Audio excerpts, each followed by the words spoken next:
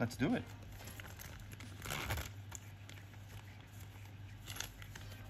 I've grabbed a packet of one BNC crimp.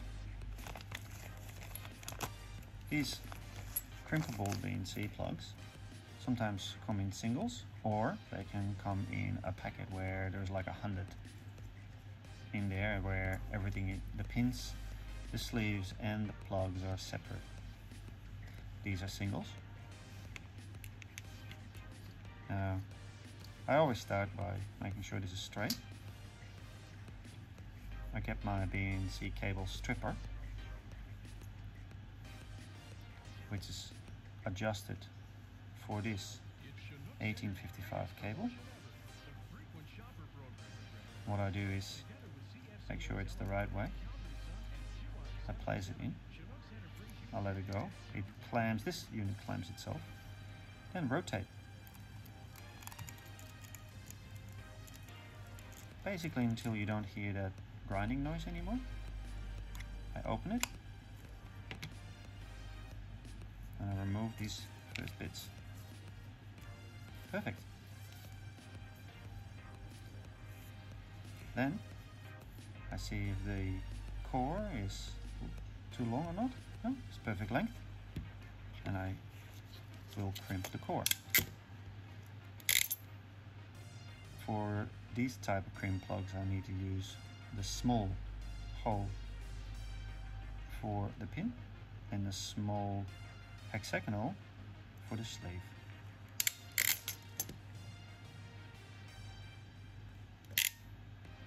The good thing is with this crimp, when you start it, you need to finish it, otherwise it does not open.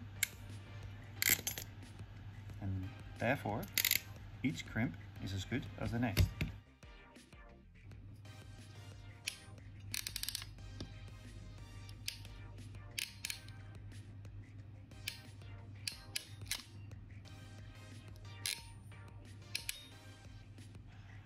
Perfect. Now, I'm going to take this bit off. Oh, no. First we'll put the sleeve on. It's much easier when the braids are not sticking out. Done. Now I'll slide this last bit off. And then I need to get the metal part of the BNC plug in between the braid and the plastic here, the white plastic core. How do we do that? Well, you grab the white plastic in the core, you gently rotate it like so,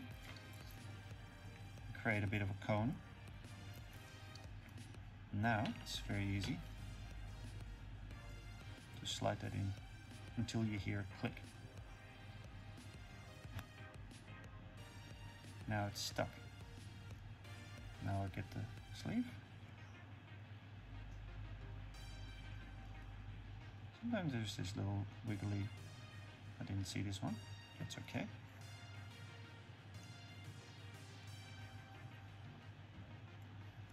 Done. Now we'll crimp the sleeve. Started the crimp, I need to finish it. Done.